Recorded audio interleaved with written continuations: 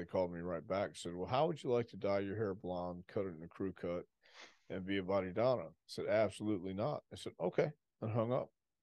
And I thought about it. Who made that? said, Who made that call to you? uh, that would be uh, somebody who might be uh, either related to me or not. So got, got it. yeah. So my brother called me up and says, "How would you like to be a body Donna?" I said, "No, no, really wouldn't." So okay, talk to you later. That was it.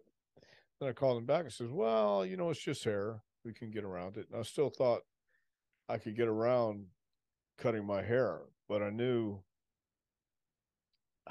deep down inside I really didn't want to be part of the drama that was Chris and Tammy. And I love Chris. I just didn't Right. care for Tammy.